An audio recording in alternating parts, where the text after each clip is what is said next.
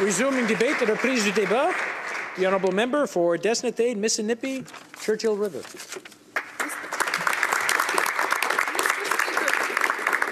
It is very important for me to stand up here in the House today and take part of this debate, not only to speak for Attawapiskat, but also to highlight the challenges being met by my residents in my riding. Before I begin, though, I want to share a personal story. Suicide affects not only me and my family. My brother has had a challenge of losing three of his own children to suicide in the past eight years. And over the years, I've seen how both levels of government um, fail communities like La Loche for by not providing services in mental health and other programs. So this is a very touching, sensitive issue. Today I received many stories to share in this house, but before I begin, I want to say thank you to everyone who shared their stories with me so that I can share it with you, the, the audience in the House of Commons. The personal stories are very sensitive, heartbreaking, and very sad. These stories also show the resilience and the hope that exists in our communities and reserves across Canada. The personal stories indicate that the First Nations and Métis children, young people, and their families require immediate help and support. The immediate help now and the immediate help for years to come. These, the personal stories indicate that the First Nations and Métis children are looking for us to give them hope, are looking for Canadian government to give them hope, and for industry, from service providers, and for all levels of people to give hope to First Nations and Métis children across Canada. This first story comes from a healthcare provider in northern Saskatchewan. This healthcare provider had to travel 600 kilometers to Saskatoon from her community to seek help for her daughter, who tried to kill herself over the last few days. She couldn't find the help in her own community because the existing healthcare services available are inadequate and insufficient. She, she as a healthcare provider, struggled with getting a referral to see a mental health spe specialist. I can just imagine how hard it is for people who don't have access to medical services and to other services. Not all families in northern Saskatchewan, Ottawa, Attawapiskat, and other communities have resources to take their children to see specialists.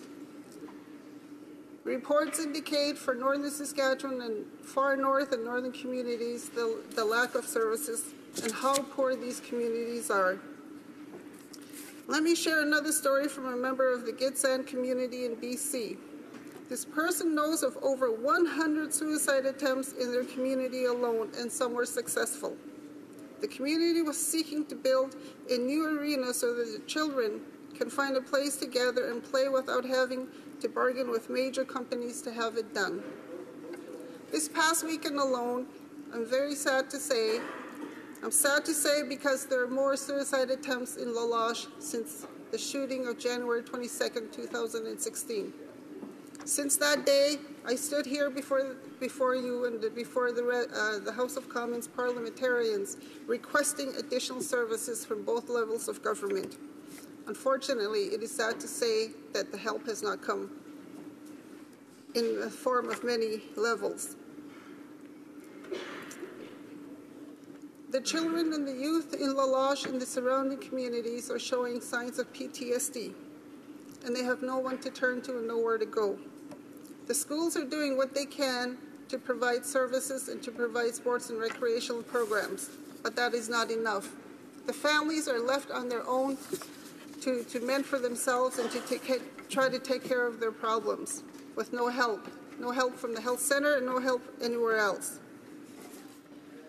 Someone today, another person wrote to me that the suicides and the attempts of suicides across the country is a, system, is a symptom of systemic failure and I couldn't agree more. Parents feel hopeless as they try to do their best to provide for their children. We live in Canada and we should not be able to feel hopeless. Yet our First Nations and our Métis communities across Canada feel hopeless.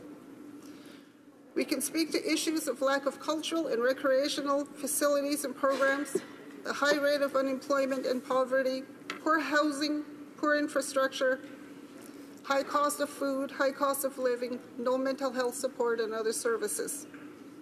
Communities like La Loche, Attawapiskat, Cross Lake, Gitxsan, and other communities straight across Canada require help, not band-aid solutions.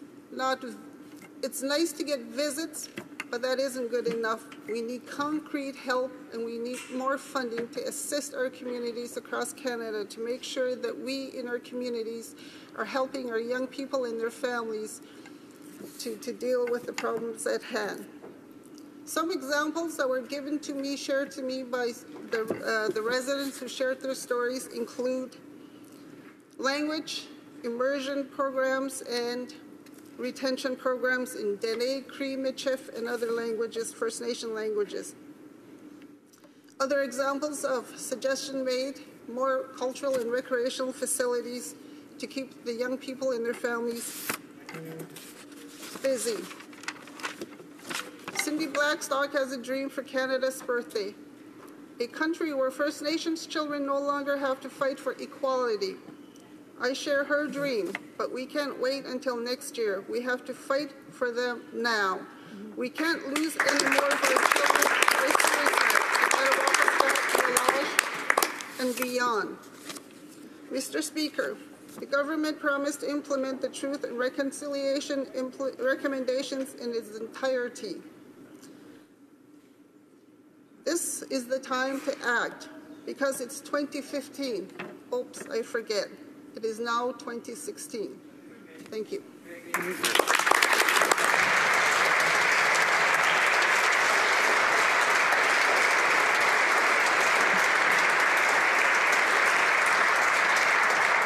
Questions and comments, questions et commentaires. The honourable member for Northwest Territories. Thank you, Mr. Speaker. I'd like to thank the member for bringing attention to this uh, very uh, serious issue across Canada. I come from Northwest Territories, and uh, suicide is also a, a very uh, big issue there. The suicide rates in Northwest Territories are double the national average, and uh, they're not restricted only to Aboriginal people. Uh, however, it's the leading, leading, cause of death amongst First Nations, Métis, and Inuit people across Canada. It's the ninth leading cause of mortality in all ages and genders. The um, government of Northwest Territories did a, a study uh, in 2014 and it concluded that there was 121 suicides within a 15, uh, 15 year period and they were highest amongst the Inuit, three times the territorial rate. And the non-Aboriginal population made up of 20, 27% of the suicides. Most of the uh, suicides were uh, male, 79%, and 21% of the suicides were female. There's a lot of risk factors that uh, we can point to alcohol and drug use, depression, emotional stress, housing, poverty, education, all these things. Trauma are all issues that uh, contribute to this issue. We need to be able to prevent suicides, and we need to be able to have people connect to their families, community and culture. We need clinical care for uh, mental, physical, and substance abuse disorders. And there's many other things that we can point to. Uh, but we have to conclude that people that are committing suicide usually feel overwhelmed, hopeless, helplessness, desperate, and alone. And we need programs and preventive strategies that target specific high-risk people. And I'd like to ask the question to, to the member about how a relation, uh, nation-to-nation relationship would help on this issue. Thank you.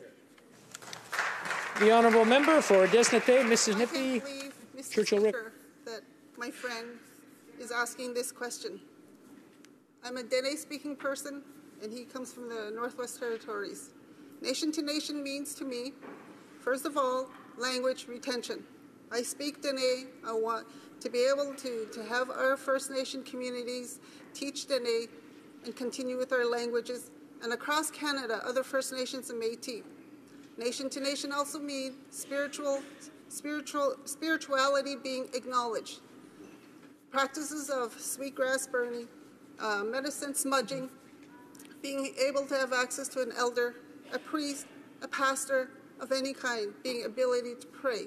Nation to nation means I feel respected and welcome.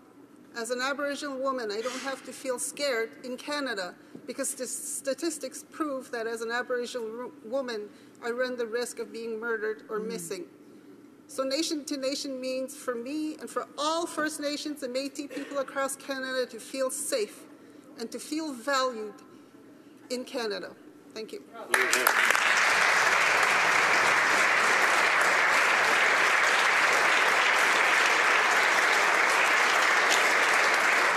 Questions and comments? The honourable member for Kamloops, Thompson Cariboo. Um, Thank you, Mr. Speaker, and uh, again, thank you to my colleague for a very powerful speech. Um, She talked about how uh, La Loche had not got the services that they required, so I'm wondering if she can maybe elaborate both in the short term and the long term, and mostly the short term, um, you know, what was she hoping that would be there in terms of support and what she's missing? Member for Desnethé, Missinippi, Churchill River. Young people, children, and their families, when they're feeling the effects of PTSD, the need to go to the health center or the band office, clinic, and saying, I need to speak to someone because I'm feeling stressed and overwhelmed. And they walk in and there's no one to talk to them. That's the immediate help in the area of mental health and counseling in other areas. I've heard and I've read over and over again how when young people and the children and their families have access to programs and services, they're keep being busy, they're kept busy, and they have other things to do in their lives, and they feel important and valued. That's area. Another for another area for our families, children, youth, moms and dads across Canada. We've heard in this House over and over again about the importance of employment. Yet when we turn to statistics, unemployment is very high in Northern Canada first, among First Nations and reserves. To feel that important level of nation to nation, the opportunities in our communities that must be available for employment is not. And so, therefore, a number of areas uh, of help from all levels of government is required. Thank you.